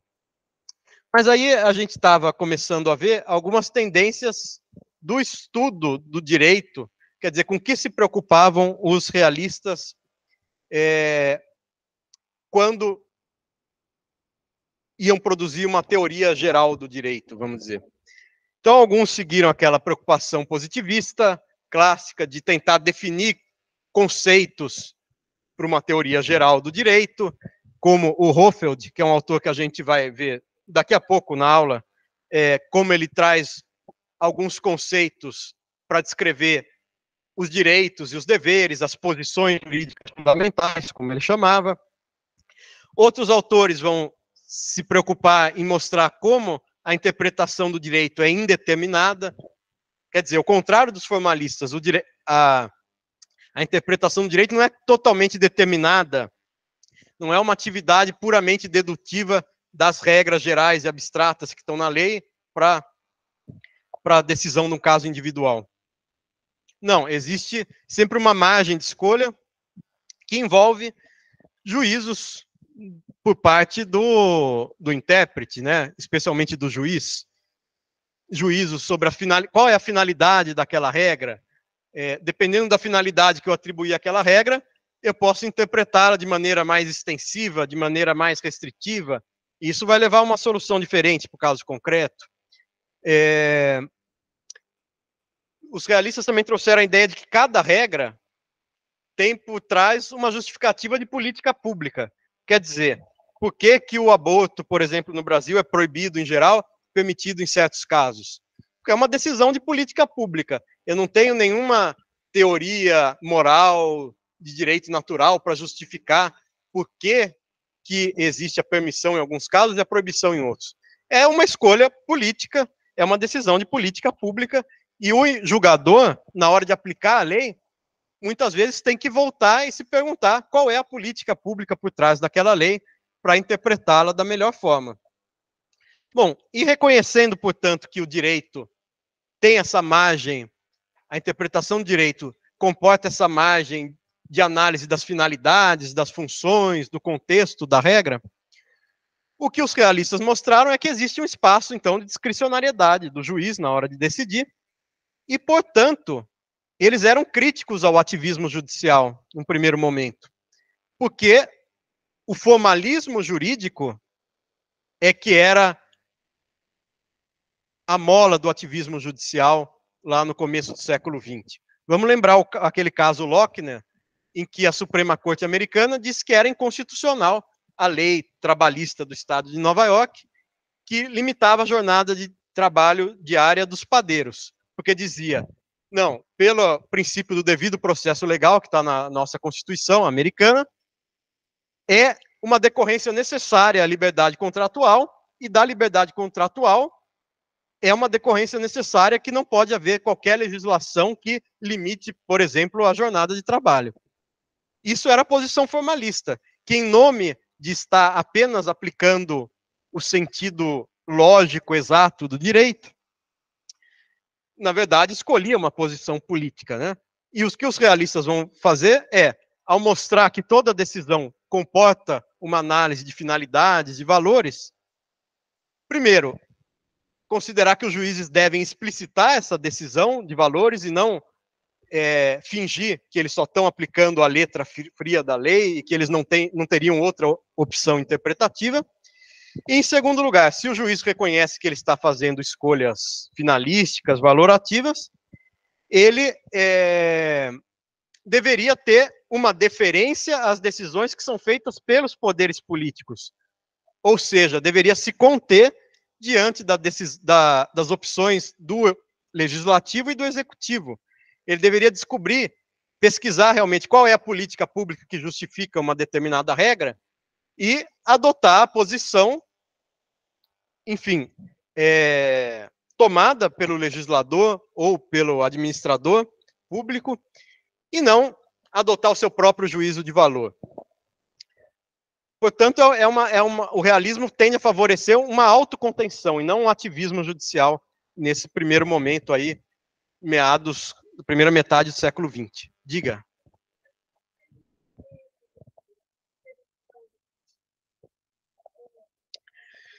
Boa pergunta. Ela perguntou se o realismo permitia o non-liquid.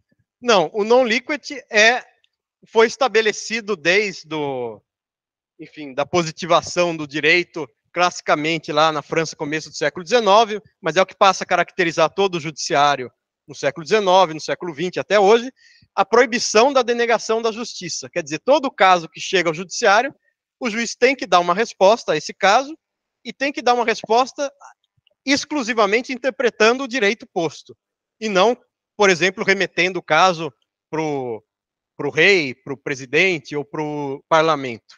O juiz é obrigado a decidir segundo o direito posto. Só que, no, na visão dos formalistas, esse direito posto constrangia totalmente as, as decisões. E os realistas, que são antiformalistas, vão dizer que não, o direito posto limita, claro, os fatores que o juiz vai considerar como justificativas da sua decisão, mas não determina totalmente todo o caso concreto. Então, é melhor que o juiz reconheça que o direito positivo não determina uma única solução correta para cada caso.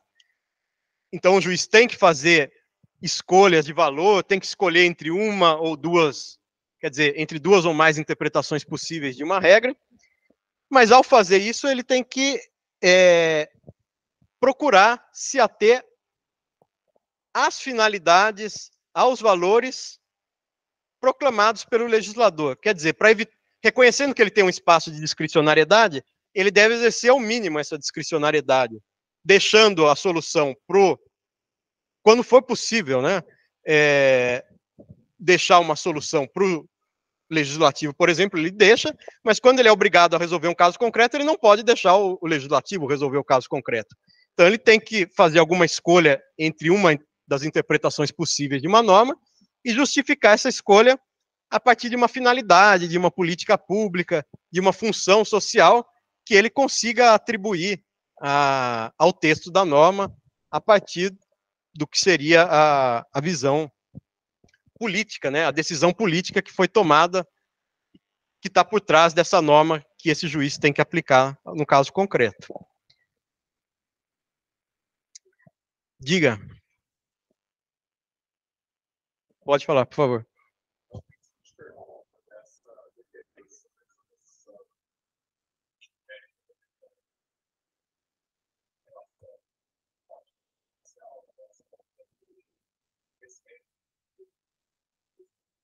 Uhum.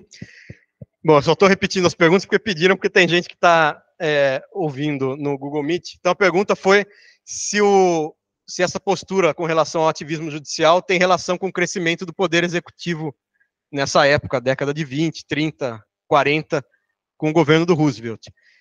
Sim, porque o Roosevelt teve muitos embates com a Suprema Corte americana, né? Ele, ele até chegou a declarar que é, que a Constituição, a interpretação da Constituição não era monopólio da Suprema Corte Americana, que a gente precisava salvar o direito constitucional ou a interpretação da Constituição do poder da Suprema Corte. E ele tentou fazer reformas na Suprema Corte dos Estados Unidos, porque essa Suprema Corte ainda era muito influenciada por aquela visão formalista e liberal do começo do século e do fim do século XIX, que tinha uma tendência a considerar inconstitucional qualquer legislação de direito público, qualquer norma mais promotora do, da intervenção do Estado na economia, na sociedade.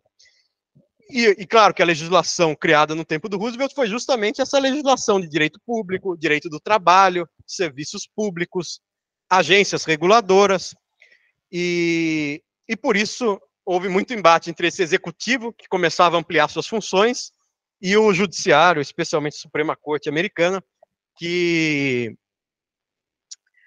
que, que tendia a considerar inconstitucional toda e qualquer medida em nome daqueles princípios é, colocados na Constituição americana originalmente ou por, pelas várias emendas que a Constituição americana também sofreu.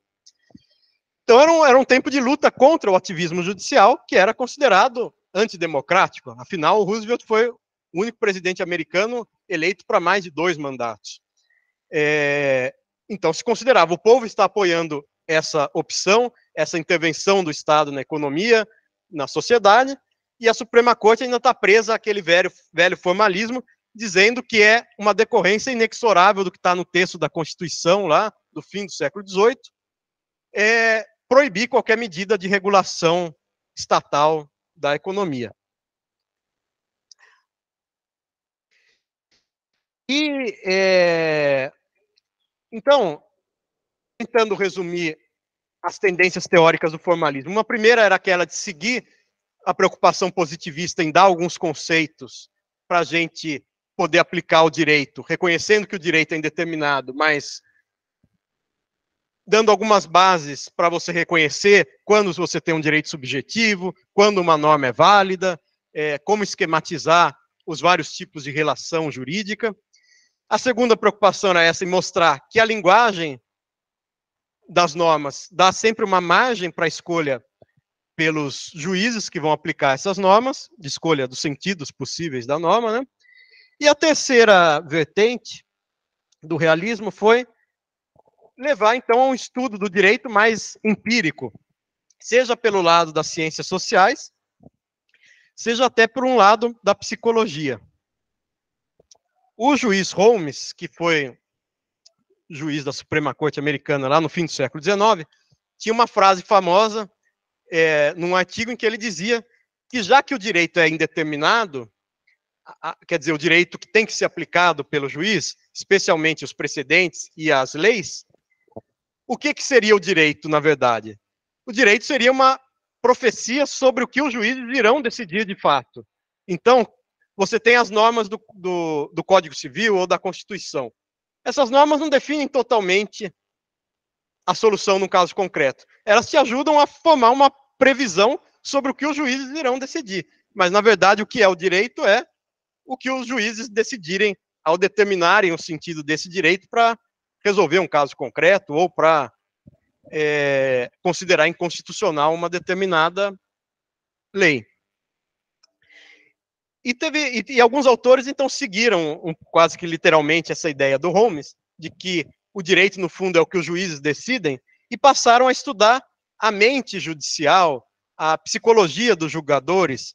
É o caso de um autor aí, o, o Jeremy Frank, que tem um livro sobre a mente jurídica, a mente judicial, é, considerando o seguinte: bom, é verdade, as regras são um, uma das causas, um dos fatores causais que influem no que o juiz vai decidir.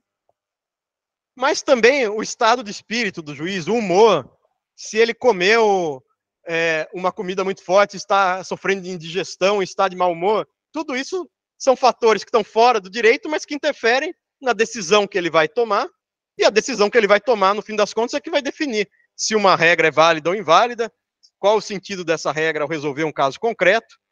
Portanto, o direito é determinado, condicionado não apenas pelas regras que os juízes interpretam e aplicam, mas também por fatores os mais é, estranhos possíveis ao direito, né? que influenciam na personalidade do juiz ou na atitude que ele vai tomar num dia ou no outro. É, então, essa foi uma linha aberta pelo realismo jurídico. Vamos, além de estudar interpretação do direito, vamos estudar a psicologia. Outros autores foram mais na linha do que o, Pound, do que o Roscoe Pound, que é um, foi um professor de Harvard realista importante, chamava de sociological jurisprudence. O que é jurisprudence? Não é propriamente jurisprudência, no sentido de decisão judicial. Jurisprudence é a teoria do direito. Ele propõe uma teoria do direito mais sociológica, quer dizer, influenciada pelas ciências sociais, pela sociologia, pela economia, pela história. E o, e o Pound, então, tinha uma concepção de que o direito seria uma espécie de engenharia social. É, os assim como os engenheiros constroem pontes, obras de infraestrutura, os juízes, os juristas, melhor dizendo, são como engenheiros sociais. Eles é, orientam a formulação de normas que vão equilibrar interesses sociais. É, então, Pound começou a propor também o estudo de quais são os interesses incorporados ao direito, como hierarquizar esses interesses, quando que o interesse individual é, prevalece sobre o interesse da comunidade, e, enfim, propôs essa abordagem mais sociológica do direito, tentando instrumentalizar o conhecimento das ciências sociais para o desenho de melhores leis, melhores regulamentos administrativos. E, e ainda nessa linha, um exemplo, dois exemplos interessantes que eu queria dar, são sobre o estudo de determinadas instituições jurídicas. Por exemplo, a ideia de propriedade privada. Dois autores importantes, o Berle e o Mins. O, o Berle era um professor de direito de Colômbia, foi até embaixador aqui no Brasil, na época de Getúlio Vargas. E o Mins era um professor de economia de Harvard, seguindo aquela linha sobre a qual comentei da economia institucional. O Berle, um jurista realista, e o Mins, um economista institucionalista. Os dois vão escrever um livro muito importante para quem estuda direito empresarial, direito societário, que é a moderna sociedade anônima e a propriedade privada.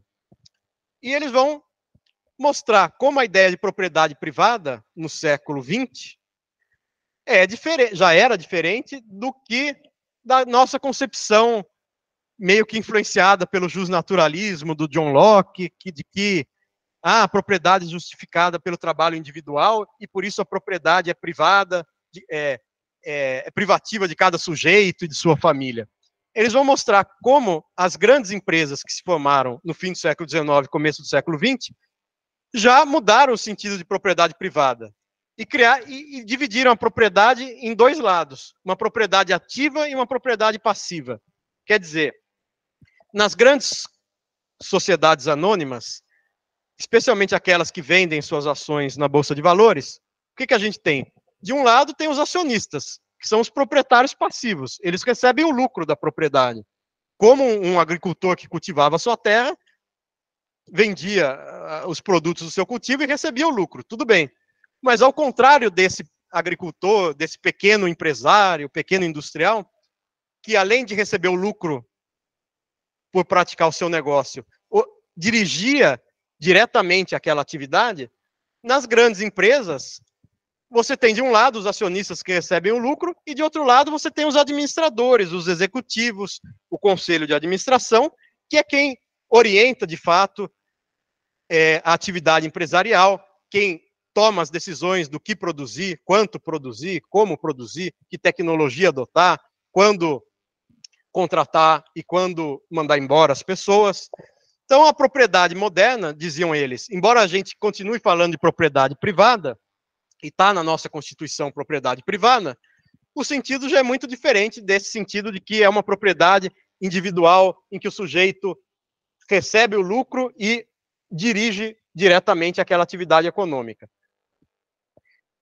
E isso eles estão mostrando como, mesmo numa economia capitalista, a ideia de propriedade privada sofreu transformações. Quer dizer, você não tem só a propriedade privada de um lado e a propriedade estatal do outro. Você tem as grandes companhias em que, de um lado, estão os acionistas e, de outro lado, com maior ou menor influência desses acionistas, estão os executivos que realmente comandam a empresa. Bom, e na mesma linha de um estudo feito nessa época por um outro autor realista, que é o Robert Hale, é, Hale é, ele, ele defendia a seguinte concepção. Bom, a propriedade privada não vem de um direito natural, como dizia o John Locke, que é o, o seu próprio trabalho transformando a matéria comum, o indivíduo gera um valor sobre essa matéria comum e, portanto, tem um direito natural à propriedade daquele bem. Não, ele dizia, a propriedade é um, uma espécie de concessão do Estado. Então, o Estado pode decidir quais são os requisitos, quais são os limites, pode dar um caráter temporário, limitado à propriedade, porque é como se o Estado estivesse cedendo recursos que são de uso comum, a princípio, para que alguém explore produtivamente esses recursos por meio dessa concessão que é a propriedade privada. Bom, enfim, tudo isso para mostrar como os realistas abriram bastante o campo de estudo do direito, pensando em abordagens mais sociológicas, além daquelas psicológicas, o que ia muito além do estudo da interpretação do direito posto, é, enfim, daquilo que a gente conhece como dogmática jurídica, como orientação de como, deve ser, como devem ser interpretadas as regras nos casos concretos. E, e aí, é, eu dizia que o realismo jurídico, no primeiro momento, nessa época do Roosevelt, anos 30, 40, do século XX, especialmente, era uma visão favorável à contenção judicial, à deferência dos juízes aos legisladores e aos políticos e ao executivo. É, mas o fato é que esse contexto justamente refletia o embate entre uma Suprema Corte, um judiciário formalista e ativista, porque, em nome de dizer que estava apenas interpretando o direito, interferia muito nas decisões do legislativo e do executivo. E, e esse executivo e esse legislativo que estavam tomando novas decisões de reforma social, de intervenção do Estado na economia e na sociedade. Mas o fato é que houve uma mudança de geração e, e a partir dos anos 50, a Suprema Corte Americana passou a ser dominada por juízes também influenciados por toda essa herança do realismo jurídico de que o direito tem uma função social, de que é preciso é, aplicar as normas tendo em vista as suas finalidades. E aí começa uma era de maior ativismo judicial, ou de maior protagonismo da, do judiciário, para resolver casos que muitas vezes é, eram resultado de decisões que não tinham sido tomadas no executivo e no legislativo. Aí o grande exemplo disso são os casos Brown, teve o caso Brown 1 e o caso Brown 2, em 1954 e 55, todos começaram com aquela discussão sobre a segregação racial no transporte público e também nas escolas americanas. E só nessa época, então, é que o juiz, a Suprema Corte Americana reverteu aquele entendimento dos separados mais iguais, quer dizer, passou a considerar que o princípio da igualdade era incompatível com a segregação racial, e, além disso, a Suprema Corte americana não só disse que era inconstitucional é, manter a segregação racial, mas ela mesma passou a planejar e implementar reformas nos sistemas de transporte público, no sistema escolar americano.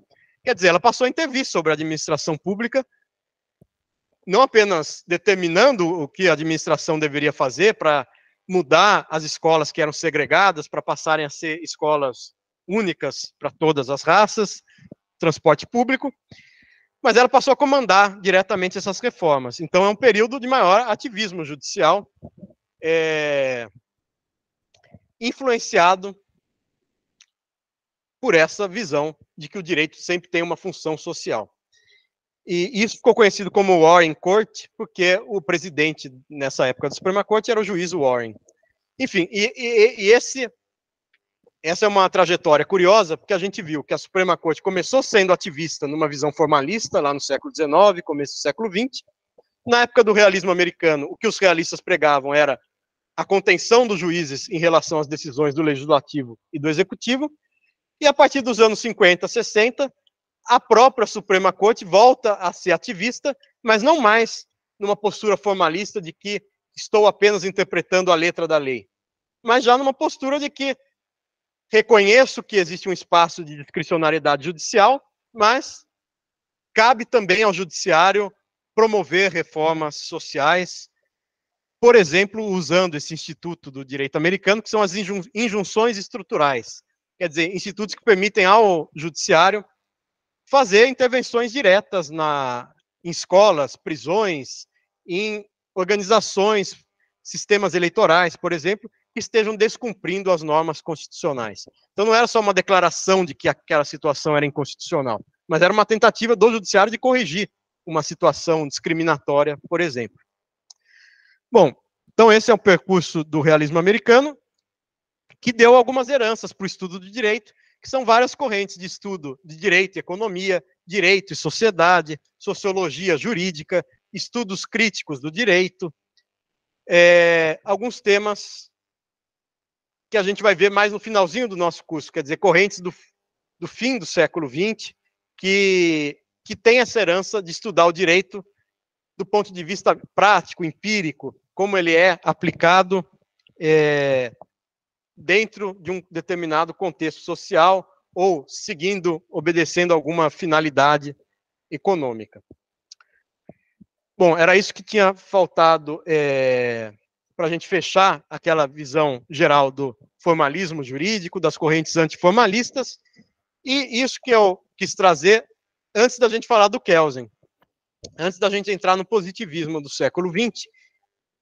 E, na verdade, antes de entrar no Kelsen, só um comentário sobre um outro realismo jurídico, porque é importante a gente diferenciar. Tem, tem duas correntes de teoria do direito que são chamadas de realismo jurídico, e as duas são um pouco diferentes.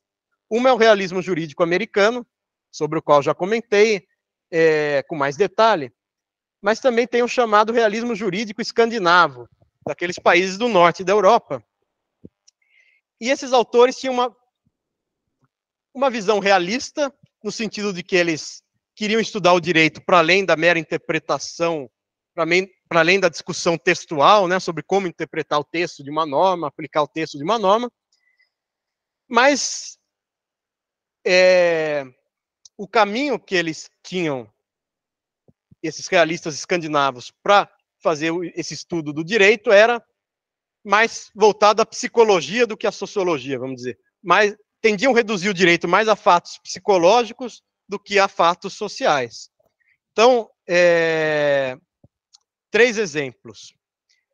Um autor, que é o Hagerstrom, é, ele tentava, ele dizia, o que, que é a ciência? A verdadeira ciência é, por exemplo, a física, a biologia, que consegue encontrar leis da natureza para descrever o, aquilo que deve acontecer, independentemente da vontade do observador. É, então, o Hagerstrom queria promover um estudo do direito tão científico, no sentido das ciências exatas, é, quanto o estudo do mundo físico. Ele, ele tem, tentar, tentou escrever textos descrevendo o direito a partir de certas regularidades causais. Então, tudo bem, existe um, uma indeterminação do, do, texto do direito na hora de ele ser aplicado pelo intérprete, pelo julgador.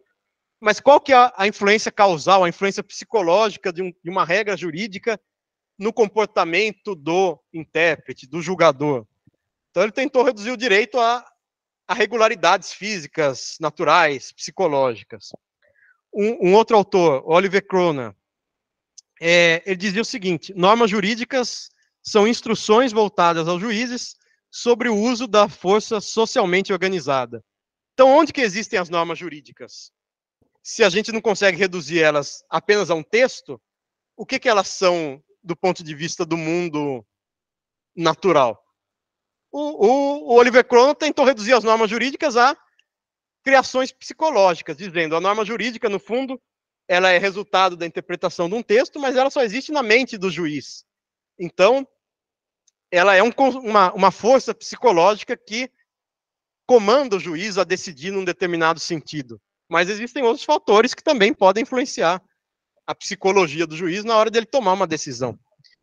E, e o Alf Ross é, é o autor sobre o qual eu vou comentar daqui a pouco de novo. Ele vai fazer uma crítica à ideia de direito subjetivo, para dizer não existe, é uma ideia metafísica absurda, essa ideia de que existem direitos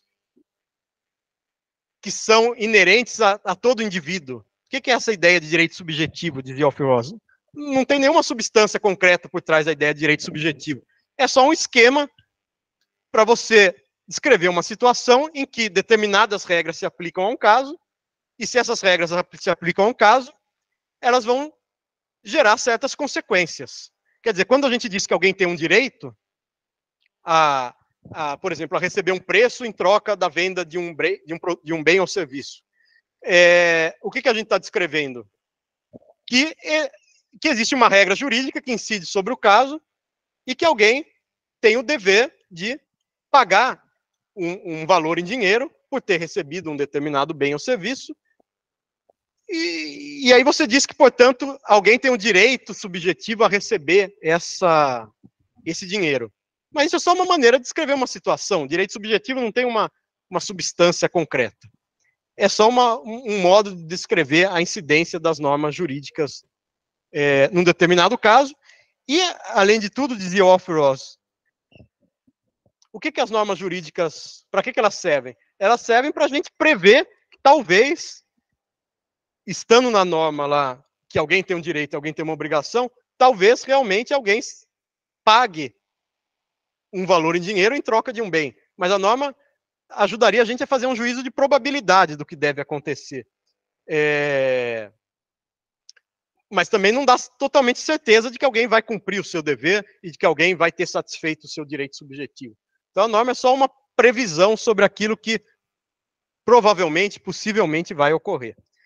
Bom, o que esses exemplos servem é para mostrar como esses autores do realismo escandinavo tentaram reduzir o direito a questões psicológicas, né? reconhecendo, já que o texto da lei não constrange totalmente a decisão judicial, como pensávamos formalistas, vamos reduzir o direito a aquilo, aquele dado mais científico possível, que seria o dado psicológico.